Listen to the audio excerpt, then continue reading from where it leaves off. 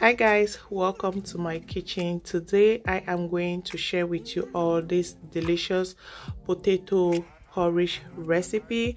There are so many recipes out there but today i'll be sharing the cameroonian recipe. So do watch till the end to get the complete steps okay?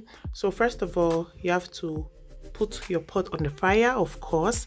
Go in with your palm oil. So i will not tell you to use vegetable oil because for this recipe as a cameroonian you need palm oil. Next you want to go in with your tomato paste or freshly blended tomato if that's what you have. It works perfectly okay as well. You want to fry that for some minutes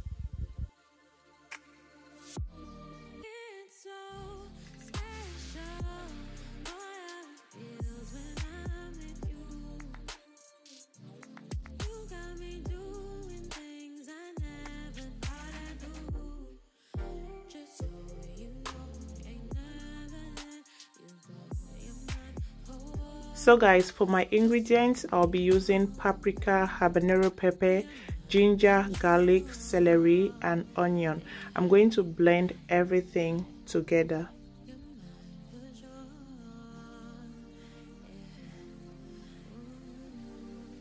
So guys it's time to check on my tomatoes. It's been cooking for about 15 minutes and here i think it's time to go ahead with the other ingredients. Let me know where you are watching from. If you are here for the very first time i am Carine Favor a Cameroonian based in Germany. On here you will find so many amazing videos you want to check out my playlist please don't make today your last. Go ahead and subscribe to my channel and turn on your bell notification as well. To my old subscribers thank you all for always always coming back. I do appreciate you guys a lot. Please don't forget to like this video and to share the recipe. So as you all can see at this point i'm just adding in my potatoes and all the blended ingredients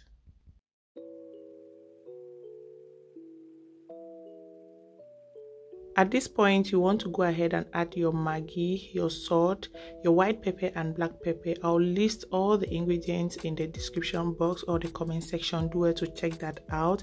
Give it a mix and then of course do you cook without tasting your food? I do taste my food because i don't want to cook something funny for my family okay?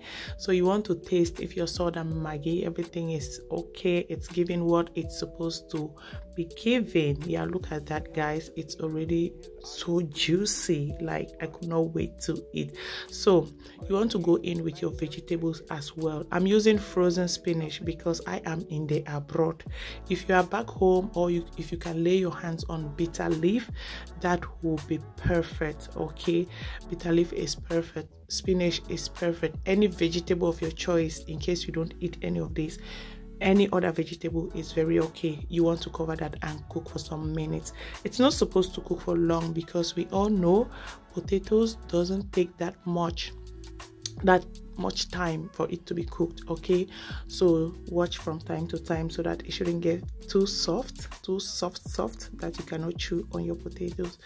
Now is the perfect time to add your protein. So i am using chicken. This is already boiled well seasoned.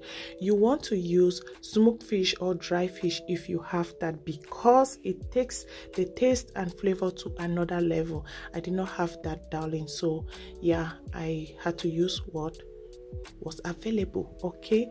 But if you do have that make sure you add it because you are going to like it. Yeah i'm just adding a bit of that stock because we want to take the taste to another level. So this particular food was so delicious that my kids ate and ate and ate and ate. They kept eating. I also ate a lot on this day. So this is the food so so delicious. Guys please if at this point you have not liked this video just go ahead and like this video please. Share this recipe if you are in abroad and you craving for some hot porridge plantain or porridge cocoyam you can use this recipe. Another ingredient that you can go ahead and add is country onion. If you have country onion just drop that in this particular food. Oh my god it's on another level. So so delicious. Look at that. Look at that. It's yummy. Cook this. Let me know in the comment section what you think about this recipe. Yeah i'll be glad to read your comments. Drop me some sweet sweet comments down there. And see you in my very very next video. Bye bye